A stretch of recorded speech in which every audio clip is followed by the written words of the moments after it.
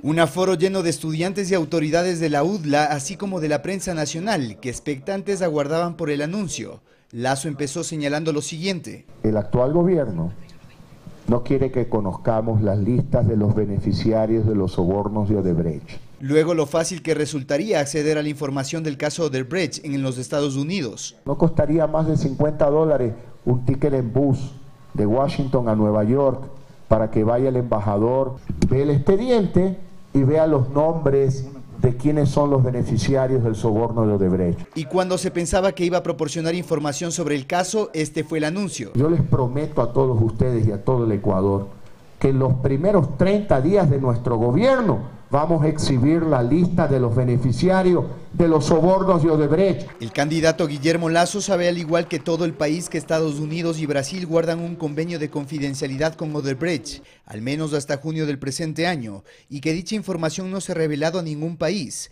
Incluso se negó la petición de un grupo de senadores estadounidenses que requirieron acceso a la misma. ¿Qué clase de anuncio es este el que usted ha hecho el día de hoy de decir que 30 días de su gobierno va a presentar la lista cuando usted le está exigiendo al gobierno que la presente ya? Querido amigo, la información es pública, está en los juzgados de Nueva York, están los juzgados de Brasil. ¿Por qué no presenta la lista, señor Lazo, el día de hoy? Usted si la tiene. Y usted le exige que, si es pública, ¿por qué no la presenta usted? Rodas no puede pedir la lista?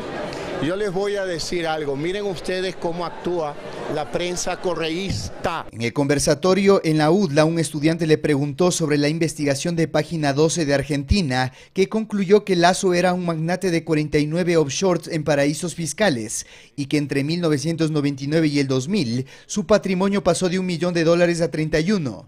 Oiga, que mande el billete que dice que me gané, porque yo no lo he recibido nunca y no existen tales compañías. Minutos después, ante el cuestionamiento de un colega acerca de Andean Investment, de la cual Lazo, según página 12, era su accionista mayoritario, argumentó desconocimiento. Yo no lo sé, vaya averigüe usted. Pero su nombre consta ahí. Su nombre consta ahí. ¿Acaso las 49 empresas que están en la investigación no constan? Usted dice que no existen. La farsa del correísmo. De lo que sí está seguro es que todo su patrimonio está en Ecuador. Es que hay una escritura pública que lo invito a que vaya a verlo en Guayaquil, donde hay un fideicomiso en Ecuador que es propietario de mis acciones, mi patrimonio es público. Al final no hubo lista y al parecer Lazo espera que su ofrecimiento coincida con una desclasificación de esta información, la cual según el Departamento de Justicia de los Estados Unidos ocurriría en el mes de junio. César García, Ecuador TV.